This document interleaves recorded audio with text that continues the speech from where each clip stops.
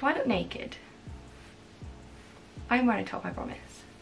Hi guys, welcome to my channel. Today's video is going to be all about boobs. Specifically, the breastfeeding kind of boobs. Today's video is going to be all about breastfeeding. I am currently breastfeeding my second baby and she's nine months old and we've been going strong for nine whole months. So if you want to know all about breastfeeding, some tips, some tricks, some advice and um, how to breastfeed in public, any products that I recommend, what I use, how I've been getting on, what I've been doing. Don't forget to like this video, subscribe to my channel, all that good stuff and let's crack on with the video.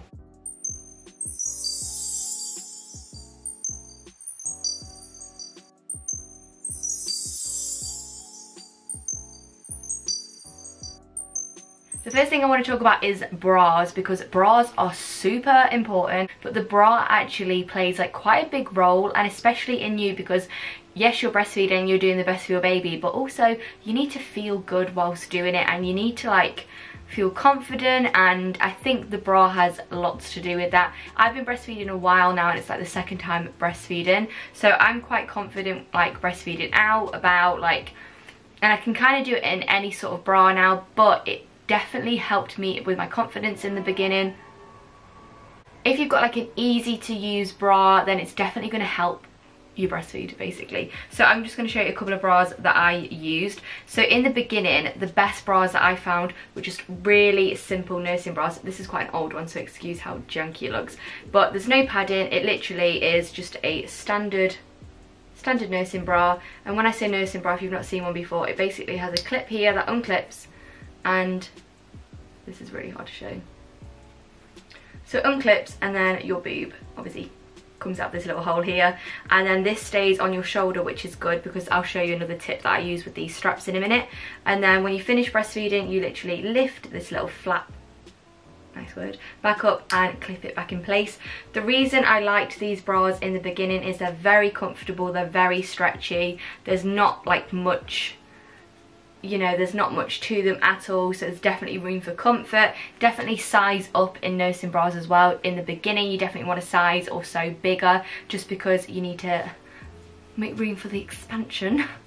But yeah so this is by secret possessions and this is a 38e this definitely was too small for me actually by maybe week one or week two. It fits me now, like I'm an EF now, but it fits me now because I, de I definitely don't get engorged anymore unless like I'm away for it from it for like a full day or something. But I definitely recommend getting a size bigger and definitely a back size bigger as well because you don't want to be engorged and uncomfortable and to be fair I recommend like a sleeping like sports bra which is what I wear to bed but this definitely played a good role in the beginning and then as I got my confidence up in the beginning I started to wear more padded bras because obviously with these ones as well I will say you can see a breast pad outlining through them because they are so thin. But if you're in the house or you're just starting to breastfeed and you don't particularly you're not particularly ready to feed out and about I would recommend this but for out and about, I'd recommend something with a little bit of padding just because you can't see the outline of a breast pad underneath. So this is by the brand Blooming Marvellous and I got this online. As you can see, it's just a black black kind of t-shirt bra again no underwire uh, very minimal padding and then it's got like a nude frill i've also got the same one but in white and i got this in a size 36f and yeah it's by the brand blooming marvelous but I still wear this bra. It's super comfortable. I like to wear this to bed as well now. Um, I kind of stick to normal bras now to be honest but this one really did do me good but this one isn't a nursing bra but it is a maternity bra let me just do it do it up so this one is good in pregnancy and it's good like even if you're not breastfeeding, like healing after birth. So it's basically just a standard t-shirt bra but it's got no underwire in at all. But rather than like take an arm out or something, because it has no underwire, you can like pull it from the bottom. I'll try and show you. So like when I'm out and about, I don't mind like pulling the bottom out, do you know what I mean? And like pulling out the bottom and feeding and then you can just lift your top up from the bottom just slightly and I really like that because it's got no underwire it's really easy to do and it's a comfortable bra but it still gives you like the lift and the look that you have like prior to breastfeeding. I will say breastfeeding bras, they don't give you the nicest lift, they don't give you the nicest shape, which is why I don't mind wearing non-wired standard bras, just because it gives you that little bit of summit summit still. And then for bed, I like to just wear sports bras. So Asda do a really good range of nice bras. So it's basically like a bandeau with small elastic straps and then it's non-wide. It's got a little bit of lace at the front as well which is really nice. They're six pound each and I've got two. And then I did with Charlie I did buy actual nursing bedtime bras. Like they're basically a sports bra with a V here so you can obviously pull one side out but I found that because my boobs are so big when I lay to the side wanted to kind of like move. Obviously and my breast pad wouldn't stay where it's meant to be and I'd leak um, so I found a generic standard sports bra works just fine. Um, I definitely definitely recommend them because they're just one layer. There's no like overlapping or anything and it keeps your like breast pads in place throughout the night. I think I've mentioned this before but I like to use reusable breast pads and I just use the 100% cotton reusable breast pads. You can find them on eBay. I've bought Asda ones before. They've done me really good apart from I kept on losing them. Um, but disposable ones I like to use the Tommee Tippee ones and then on the back there is just like a peel bit that sticks into your bra which I never ever use. When you peel these off like loads of brands do them you're meant to peel it off and then you stick it to your bra. So when you like pull your bra down obviously it stays and then when you pull it back up. But I never ever use them. I never really have used them. And also in the beginning I only I always use two breast pads, like one in each boob.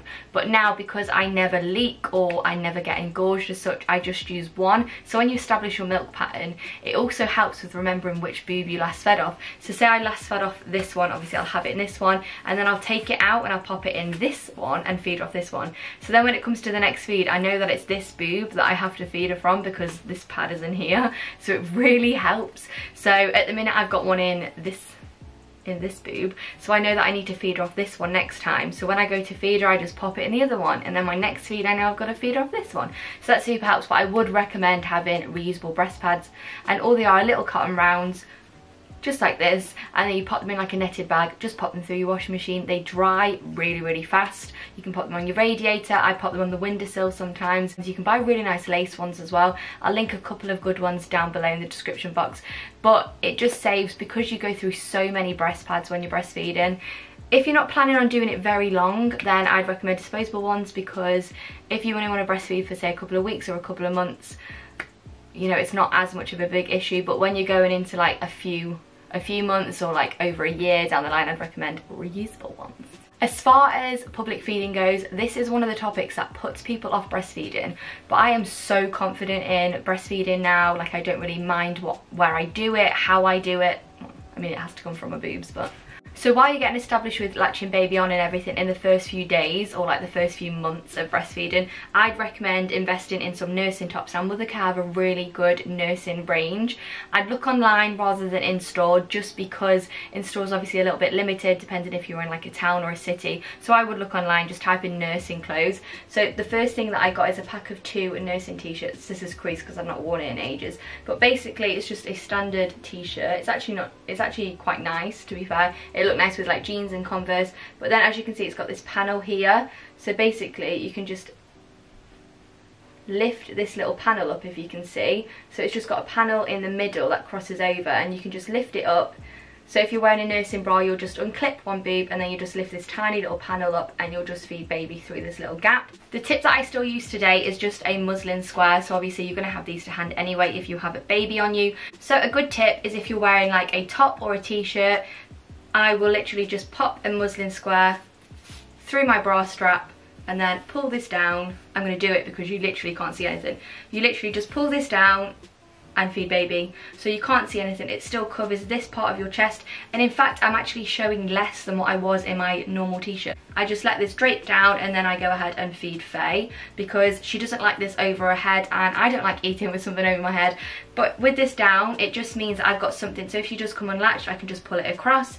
Or if she's like fussing at the time then it just gives me a little bit more coverage and it gives her a little bit of freedom to be able to move her head around bob it around without me feeling like I'm going to show anything. Another really good tip with clothing is just to be cautious what you're wearing obviously. Like for example dresses and stuff that's when it starts to get a little bit difficult. Like I wore a pinny with a top underneath and obviously that's when it gets a little bit fiddly because you're having to lift a top underneath the dress and then you've got a dress on so you're having to pull something down. But a really good tip is to wear just a standard vest top underneath your t-shirt or to wear a nursing top of nursing vest underneath a normal t-shirt. It just means that you can feed baby and your belly isn't exposed because you can just pull down your vest underneath. And then you've got obviously the coverage around like your tummy and everything. That's not on show. But you've also got this top that you can lift up here so you've got like a whole cover underneath which I found really comfortable in the beginning especially when I still had like a lot of my tummy left. I didn't want to sit there with my belly out and I would just wear a vest and then a t-shirt over the top and I'd just feed baby underneath my t-shirt. You can actually get so many breastfeeding accessories which might have helped you or will help you. You can get breastfeeding aprons you can get nipple shields to help with the feeding process if you've got sore or cracked nipples. I actually used a nipple shield with Faye and I kept it in a little dentures tub that was filled with milk and water. So what I would do is I'd feed her with it rather than like washing, cleaning, sterilising. As soon as I fed her, I'd wipe it and then I'd pop it back in my Milton water ready for the next feed. And then every 24 hours, I'd just change the Milton water. It just made it easier for me. It was less stressful, less hassle. I could just take that around with me. Then if I was out and about, I'd just take Milton wipes. So I'd literally feed her, wipe it with the Milton wipe and then pop it back in my little dentures tub. The reason I use a dentures tub is because it's small and it's just like a plastic little Tupperware, but you could use any little plastic plastic pot really and that's going to help your feeding and then make sure you've got a really good nipple cream to hand which I didn't use that much but it is always handy to use. So the Lansinoh do little testers really like little sachets. Just a couple of them saw me through but I did invest in a 10 pound nipple cream. As far as pumps go I like to use the Tommee Tippee closer to nature one. As you can see it's got the power button in the middle and then it's got a setting one setting two and setting three. Because I've been breastfeeding for so long now I always have to have it on setting three otherwise I find that the suction's not strong enough. So this is a little suction thing and then obviously it's got the pump that clips that goes straight onto your boob. I don't actually have any pumping bras. They're not something that I felt that I needed but I have thought about it a few times so it's not something that I would think would go to waste if I did have one. I kind of wish that I did buy one. I do also have a double electric pump from eBay which is about £15, it's super super inexpensive. As a double it's kind of not strong enough to get enough milk out of me now but as a single the motor's really good so that means I've got two attachments then to use as a single. As a double I mean it could be used as a double but I just don't find the motor strong enough so what I will do is I'll pump one and then I'll use I'll fill that bottle and then I'll use the other attachment to pump the other boob and then it just means less sterilising. I can switch between the two attachments instead. But if you're looking for a really affordable double then definitely check that out. I'll have it linked in the description box below. But that pump sees me good. I still use it. It's still really good. I do prefer the Tommee Tippee one but as far as an affordable breast pump goes I think it's brilliant. Yeah it does say double but I would just recommend using it as a single and then just using the other head as a spare part as such. When it comes to sterilising breast pumps and parts I sterilise mine after every single use. I know a lot of mums don't do that. In fact, some mums don't even sterilise their breast pump at all. They just wash it. And I know a few mums that will pop it into a Tupperware box. Say if you plan to just express feed your baby, a lot of mums will pump they'll store the milk, they'll pop their breast pump into like a lunchbox and put it in the fridge and by putting it in the fridge you're storing any leftover milk residue on your breast pump at the right temperature so it's not going to go bad. And then what you'll do is you'll pump again the next feed and then pop it back into the fridge. I personally don't do that because I don't pump enough to justify doing that. But it just means that you don't have to sterilise parts in between pumps which for a lot of working mums of like your full time if you're going to be pumping at work and you're not going to be getting enough each time to freeze a bottle of milk it does come in quite handy I'd say but I would recommend getting some Milton wipes as well because if you don't have like a fridge to hand or you don't have a sterilizer you can just wipe everything clean as far as out and about feeding goes, I only took about six breast pads with me because I used to take so many in the early days and they really weren't needed. In fact, now I just have one spare breast pad in my bag. To be fair, the only reason that I keep one in my changing bag is because I always forget to put one in in the mornings. In the beginning, I was freezing my milk stood up, so I was left with like an empty bag and then a big block of breast milk, which took ages to defrost. So now I will pump into my bottle and pour it into the bag and then I'll light flat in the freezer. I'm left with a full bag of flat milk, which defrosts way faster. It's easy to store. It takes up less room in the freezer, so that's really helped. And I always write on the date and the ounce on the bag, just because some days when she's not as hungry, or say if I feed her and then I know while I'm at work she's just going to need a small top-up feed, it is always handy to have like a variety of ounces in the freezer so I generally will pump seven ounces for her because that's generally what she takes but it's always handy to have like a four a five and an eight in there just in case.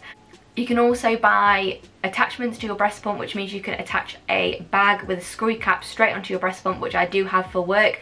So when I've got a pump at work to save me messing around with like a bottle and then pouring it into a freezer bag and then I'll pop it in the fridge and then when I get home from work I can just pop it straight into the freezer. There's no messing around with bottles. I'm just a lot more confident in doing that because I'm just pumping straight into a bag. It's less hassle and less fuss. It's also less for me to sterilise and take to work. I think I've pretty much mentioned everything that I want to mention in this video. If you are a breastfeeding mum then comment down below because I'd love to talk to you and if you're thinking about breastfeeding, definitely message me or comment down below as well because it's really nice to help people if you've got any questions or if you want to know anything about me or breastfeeding obviously I don't know everything but so far it's working quite well for me. If you want to know anything else then just ask because I will be happy to answer. But that was all for this video. Please like subscribe and all that good stuff and I'll see you in my next video guys. Bye